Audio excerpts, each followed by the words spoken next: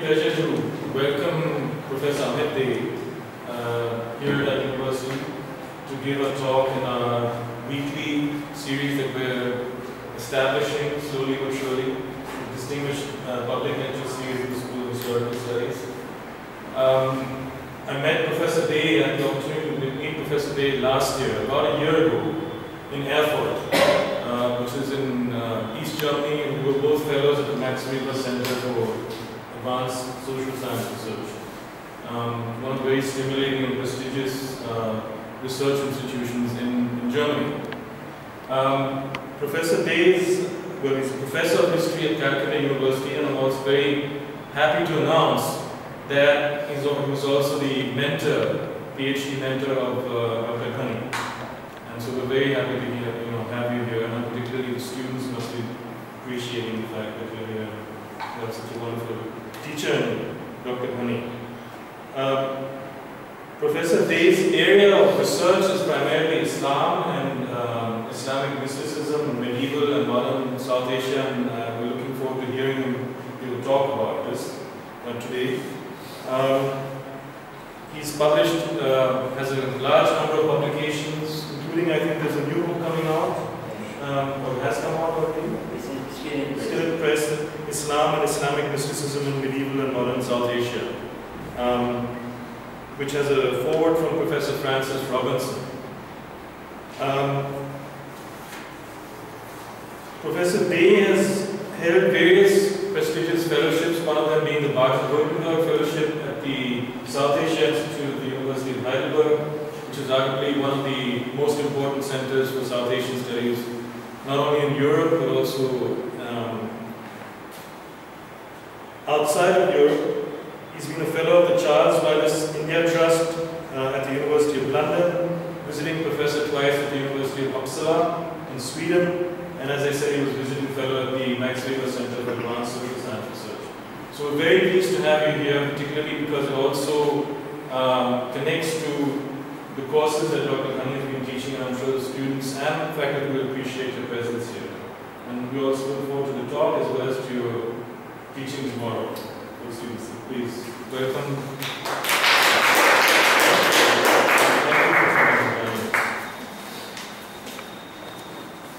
Uh, thank you, Professor Aditya Malik, for a very generous introduction. I'm particularly grateful uh, to the School of Historical Studies. Uh, here, in my case, represented by, mainly represented by Professor Malik and my dear former student, Dr. Kashshaf Ghani. Wherever I am invited by this as sort of a joint venture, a joint academic venture, I cannot say no. That's why definitely I was very prompt to respond, prompt to respond very positively.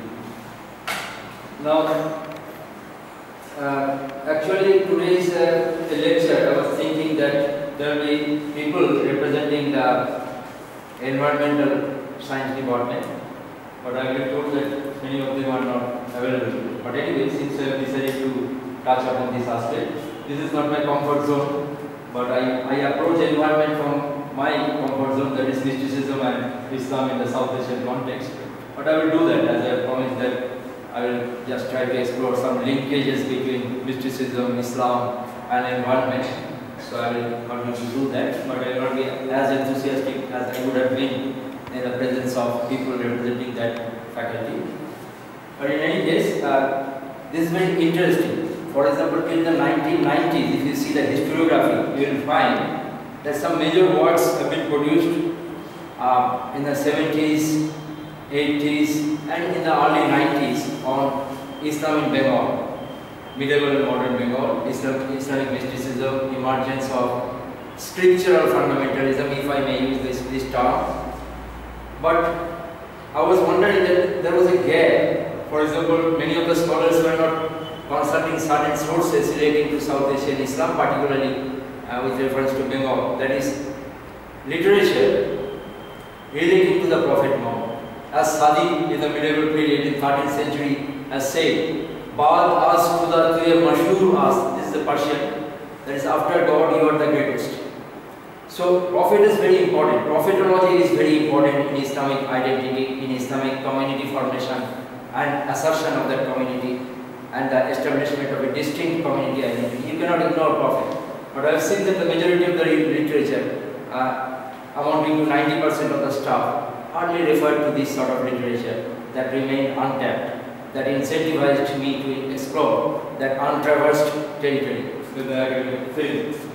So I have classified this sort of literature into three categories, but today I will be concentrating on mainly the four elements as I have uh, indicated or I have promised. Uh, one sort of literature found that there is a swelling volume of this sort of literature, Sirat literature, biography of the Prophet, Sirat literature, biography of the Prophet. Uh, uh, mainly, and this is available all over the Islamic world. In case of Bengal, this is available mainly in the chaste Bengali literature. It has something to do with the optimum utilization of the printing, printing press, printing technology. For today's lecture, I have very little to do with that, but tomorrow I may be in a position to discuss that in some details. So Sirat is sort of a chaste Bengali literature dealing with the Prophet's biography. Uh, this is mainly catering to the requirements of the newly emerging Bengali educated middle class, appearing from the mid 19th, particularly from the uh, fag of the 19th century. We today we have nothing to do with this sort of literature. There was another sort of literature that I have noticed. Maulud, you enjoy a national holiday in India uh, on Prophet's birthday. Miladun Nabi, Maulud literature, commemorating the birth of the Prophet. So this is not only the birth of the Prophet, you get information about his life also in Maulud literature. This is interesting. This genre, uh, it's actually liaison between the Bengal countryside and urban Bengal. Because partly you will find this is available in prose form and partly available in versical form. Versical form because it is also addressing the illiterate population to aid the memorization process. If something is project, uh, presented in rhymes or in song, it is easier to remember. You can understand. an educated middle class uh, can just browse through the pages again and again. The, the question of memorization is not important for an educated middle class but that is memorization is important for illiterate people in the countryside. This is again important because some of the scholars have made some sweeping comments that with the advent and optimum utilization of building technology we notice in South Asia the triumph of the individual. The triumph of the individual. My humble submission is that as I mentioned, you have to understand in the uh, abstract I mentioned you have to understand Islam with one S, Islams. You have to understand Islam with its, with its multi-layered complexity, with its heterogeneity. For example, Islam as it flourished in Morocco was quite different from the Islam that engulfed Indonesia or Bengal. In Bengal and Indonesia, Islam spade with the spade of wet rice cultivation. And recently I found one document on Morocco, one person visited Morocco and in the graffiti of the telegraph, uh, he has written about his experiences. There was not a single reference to the Moroccan countryside. So this urban experience was quite old in Morocco. From 7th century onwards, you get great cities. You have to be mesmerized by this sort of architectural designs of urban Morocco, which you will hardly find in the Bengal countryside. This is again a problem. You think about the language movement, International Language Day was celebrated on 21st February. 54% of the Pakistani, undivided Pakistani population spoke Bengali, but Bengali uh, lacked that official status. There was a movement and ultimately they were successful. I'm not terribly with that. And that's why uh, one of the largest Muslim communities in the world uh, are domiciled in Bengal and they have an agrarian base. So if you have to discuss South Asian in Islam, I think you cannot ignore Bengal, I mean I undivided Bengal. But recently I am reading some books, there is not a single chapter on Bengal. And the title of the books are becoming very uh, just misleading that this is a book on South Asian Islam, but not a single chapter on Bengal. I'm not mentioning that because at the moment I'm reading some of the books, but I will be polite. Generally, I'm a polite person. I'm not. I can't be very harsh. Anyway, so it's a secret which we are sharing, but you need not divulge it to the public space. I will maintain that decency and politeness, even when reviewing that. Just so uh, this is the thing, and the third category which is our concern today, that is that we shall be highlighting folk songs. Now again, this is not unique in Bengal, but uh, my predecessors who carried out research on Bengal, they hardly put emphasis on these sort of sources while uh, chronicling the Islamic past in Bengal. But this is very important. My argument is that you have to understand the environmental changes, eco-geographical changes, folk songs is an important source for our proper understanding of Bengal, which created ripples in the Bengal countryside. For example, uh, this is interesting. Uh, this is the boat of faith, this is Muhammad. If Muhammad is entreated, the boat, the soul, sails shift, uh, safely from one shore to another. Just like Bhagavatsindhu Toribare Horinama, Hori's name is entreated uh, to ensure a safe passage from one end to another, from towards the ocean of phenomenal being. So it's a sort of a parallelism in that sense. So Muhammad is that boat and Allah is the mast. Allah is the mast. So this is the notion. So in Bengal, in the Bengals, in riverine Bengal, this is important.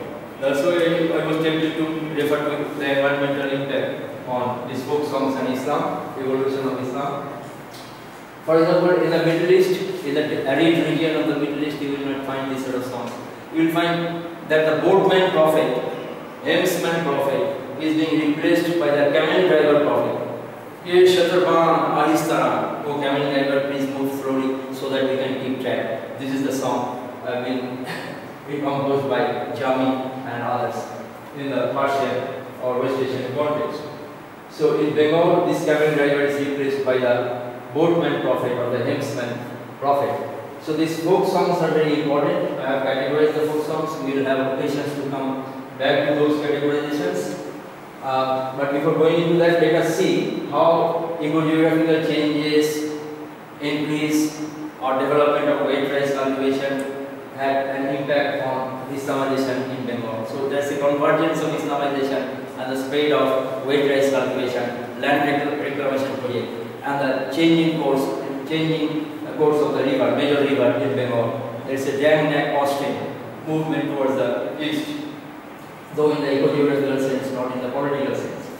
So if we see the land documents in the 16th century, 16th century is the century of community formation, Islamic community formation. And 19th century, we shall be mainly, as I mentioned, we shall be dealing with modern Bengal. 19th century is the century uh, when this quest for the community solidarity assertion or a distinct community identity was being established in the 19th century. So 16th century is the period of community formation and 19th century is the century of the assertion of that community to maintain a distinct community identity as compared to other communities and certain symbols were brought into play. And there was still a tension between the universal symbols of Islam and the uh, local symbols of Islam. We shall mention that. Of course, Prophet Muhammad and Allah, Allah, they are the universal symbols of Islam. They will be strong competitors for the local symbols of Islam, like the Mushrik, like the Baul singers and others. Uh, we shall come back to that.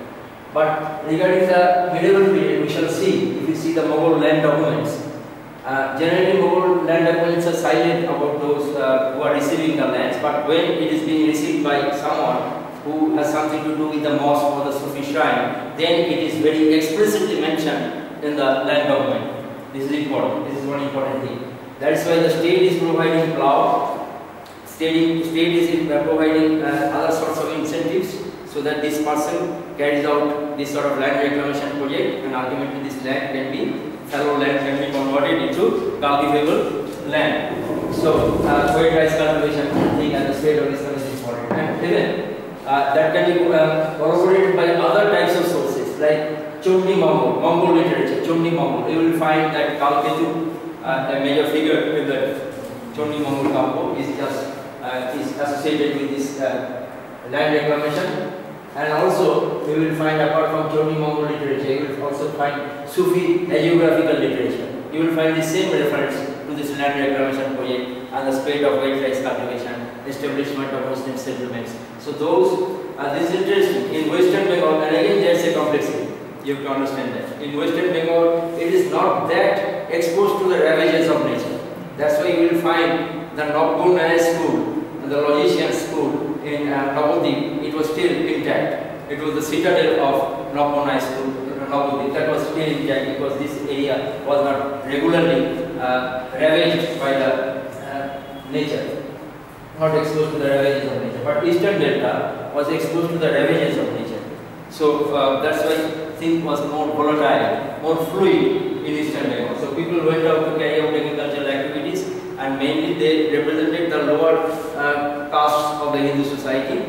And these were the people who got Islam, Islamized because they were not, because of their prolonged stay in these sort of reclamation activities, they were not taken back within the fold of Hinduism and they just embraced Islam because these sort of activities took place uh, surrounding a mosque or a Sufi shrine and most of the time this leadership, charismatic leadership was provided by the Sufi P uh, in the local community. So Max Weber would say that there are two types of uh, charismas, hereditary charismas as well as acquired charismas. These daring people pirs had acquired charisma as well as hereditary charisma because genealogy uh, is, a, is an important legitimizer uh, in Islam as well as in other religious communities, I assume. So they could trace back their origin to the, to the Prophet. They could trace back their origin to the Prophet in a genealogical tree. This is very much important.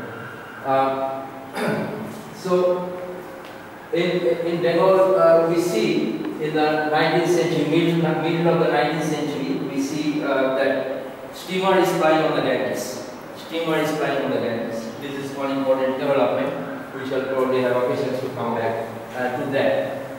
Let us now classify. There are very exquisitely beautiful folk songs in, in Bengal. Uh, for example, Baul songs, uh, it has originated from probably from the Sanskrit word Vatula, that means man, intoxicated, or maybe from the uh, Arabic term Aulia, Aulia. Aulia means friends of God. Wali means friend of God. Aulia is the friends of God. So both can be right. Uh, there is a discourse going on about regarding the origin of this word. And this is uh, by the mendicant singers, you know, recently a film uh, just uh, directed by Gautam Ghosh, Moner Manush, the man of art. We shall mention that man of art is the Prophet Muhammad uh, here in the power imagination. So that they are the mendicant singers because of this uh, economic change in Bengal. These people just uh, got involved in this sort of song. They provided peace and solace to the peasants and other those who were involved in uh, crafts industry during this crisis. That they provided them with some sort of self-confidence in the challenges, constraints of colonial regime. And uh, we shall mention that later on. Uh, and there are other types of folk songs, jari songs. Actually in Bengali, you cannot pronounce Z. Actually it should have been Zari. Zaridan from Persian means lamentation. Uh, lamentation uh, commemorating the tragic death of Hussein at the Battle of Karbala. So it's, it's mainly sung during and the Muharram festival, but there are certain districts like Jessore and Khulna where this is a seasonal song, not a religious song. But in Mymensingh, definitely, and sometimes in Murshidabad also, this is a, religious song commemorating the uh, tragic uh, death of Hussein. And in Eastern Bengal, in Chittagong, uh, Chittagong is an interesting place uh, because you see uh, there is uh, sea, you find sea and also mountain in Chittagong. So there's a place in Chittagong called Maij So these, uh, they almost they resemble the Sufis and they sing these sort of Maij songs. They challenge the uh, Orthodox Islam and they are heterodox in their uh, mode of functioning. And again, there are other types of songs, rain songs, songs to invite rain, and also songs of laborers, which we, we have to study these sort of uh, these sort of songs to see what we get. Uh, and I just have to explain this thing. Till the 1970s or even uh, during the late 60s, uh, the secular nationalists and even the nationalist historians, including the Marxist historians, they projected Sufism, uh, Bauls as the symbol of national integration. I appreciate that because I understand that in the aftermath of the vivisection of the subcontinent, it was a necessity. It was a necessity, it was a period when India was experiencing this nation building process. We should have emphasized those symbols which might have uh, just promoted national integrity. So they have done the right thing, I appreciate. Having said that, I must uh, share this with you that after so many decades after independence, I think we can be a little bit critical about the analysis of these sort of things, Bauls and folk singers and Sufis, whether we can call it symbols of national integration or whether we should be aware of their complexities. Uh, these sort of multi-layered movements represented heterogeneity. We have to understand that uh, that is the thing. So, and what my position is that there was syncretism, no doubt, but it was not unalloyed syncretism as the secular nationalists uh, would like us to believe. It was not unalloyed syncretism. At times, it was just flavored by a, a spirit of competitive religiosity. Competitive religiosity was there. Uh, this is very much important. In support of my hypothesis, I will just cite some songs. There you will find. Uh, if you on your own can just come to this conclusion whether you can call it syncretism or whether you will to be satisfied with the term competitive spirituality. I will leave it to you there. Uh, so this is the thing. Uh, and cosmogony or cosmology is very important in folk songs. It's a legitimizing process once again, legitimizing process. Uh, why we shall explain that why cosmogonical songs particularly became popular in 19th century Bengal. And there is another type of song which put emphasis uh, on Nur Muhammad. I just very briefly explain this. Uh, Nur means light, Nur Muhammadi, and Nur means light. It is the belief, according to believers, that God created from His own life uh, own light, God created Muhammad. For the comfort, uh, comfort of Muhammad, everything else was created. Earth, uh, air, uh, water, everything else was created because of the comfort of uh, Nur, Muhammad. So Nur Muhammad is the cause and creation of everything else is the effect. Why this theory was getting popularity, uh, gaining popularity in the 19th century. And this is not unique about the Bengali folk singers. Because in northern India also, in the northern Indian countryside also, in the 19th century, you will find the Barelvi ulama. Barelvi ulama also put emphasis on the intercessory aspect of Sufism. They also put emphasis on this Nur Muhammad concept, a legitimizing act on their part. Why they are putting emphasis on this aspect? Because it was a period when the Christian missionaries were carrying out their proselytizing activities and put emphasis on uh, this uh, cosmogonical theory and projected Jesus Christ as the origin of creation, origin of creation. To counter that, to prove that Islam is not uh, going to be vulnerable before this sort of proselytizing activities, Islam is more authentic as a religion, they put, uh, put emphasis on this Nur Muhammad concept. It's a legitimizing act. So in this context, you can understand it's a, it, it's a, it's an example of competitive spirituality rather than syncretism. Competitive spirituality rather than syncretism. Now, uh, I must give you some example. For example, uh, there was one uh, Jari song as I mentioned. Now Jari is not is not a solo. It's a sung between two competing groups. It's sung between two competing groups to provide a sort of a dramatic impact in an otherwise agrarian, uh, rice economy oriented, dull village economy to provide some sort of emotional satisfaction. Uh, these sort of Jari songs are offered it has a dramatic impact in village society.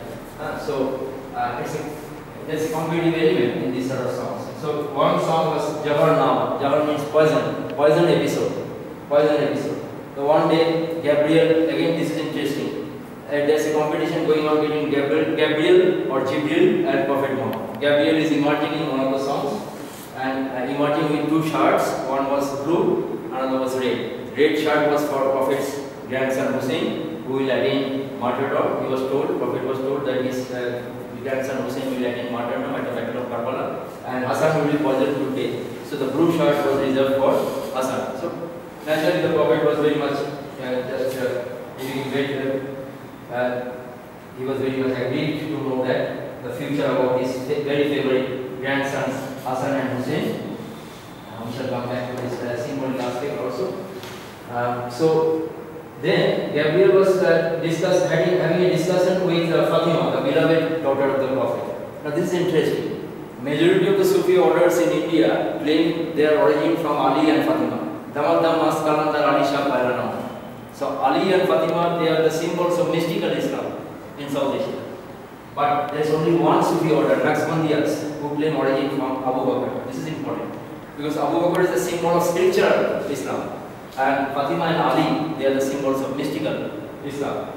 So, um, Fatima was addressing Gabriel as Choto Chacha, his younger uncle. So, Gabriel was very much annoyed "Uh, Why are you addressing me as the younger uncle or Choto Chacha? I am senior to your father.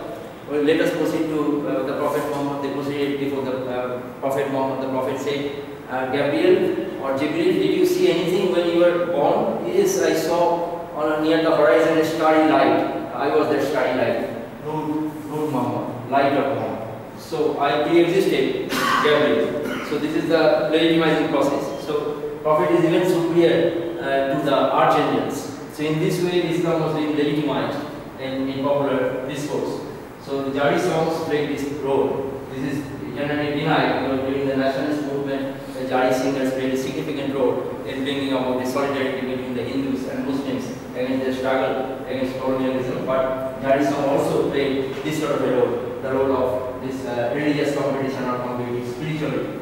So uh, this is one example. Uh, another song is very important. Uh, that is known as Kulsume Mejubani. This is interesting. Mejubani means actually Mezbani. Mezbani, Mezbani means hospitality. Persian term. Kulsum is another daughter of the Prophet Muhammad. Now there is a distinction between Fatima and Kulsum. Kulsum is the wife of Usman, Prophet, uh, uh, Khalif, Khalif Usman. Usman is a successful trader. Successful trader. So uh, Kulsum is affluent. Kulsum is affluent. Or Fatima appears in public space with a shabby wrapper, as I have mentioned, like the Sufis. She is the representative of mystical Islam. Uh, so she is the representative of uh, the have-nots, Ajlaf, Ajlaf Muslim. You will not find that in Quran, uh, but in the Indian context, probably uh, as an impact of caste system, this sort of thing emerged. Ajlaf means uh, Indian Muslims or converted Muslims. Symbol of Ajlaf. Ajlaf is also an economic category. They are the deprived people, um, Muslims in India. And Kulsum became the representative of Ashraf, aristocratic Muslims who claim foreign origin. Uh, those who are not converted. This is this is the notion. So there is a struggle, but this this should not be there in Islam. Islam is based on egalitarian principles, but in India this is denied. Uh, so uh, that during this community solidarity, these sort of questions became very important, particularly during the late 19th century, because the political leaders found that this is going to erode the vitality of Islam and Christian missionaries with their running words or the Brahmins or the Arya Samajis with their running words might be just reconverting those Muslims or the Allah who are living within the fringes of Islam back to their uh, own respective religions. So they wanted to bridge this gap. So uh, that was done at a folk level by the Jari singers and also others. So there is a Jari called uh, Kulsum and Mejman, hospitality of Kulsum, the affluent uh, daughter of the Prophet, who just was used to hoarding, just reflecting uh, contemporary economic practice. Hoarding was practiced by Kulsum, that is, she did not uh, observe the zakat. Zakat is one of the five pillars of Islam. She did not observe the zakat. So my argument is that you see when there is emphasis on this zakat, so I have said the syncretism is there. I am accepting that. But at the same time we have to be a little bit cautious. Reformist Islam or revivalist Islam is emphasized through these folk songs as well.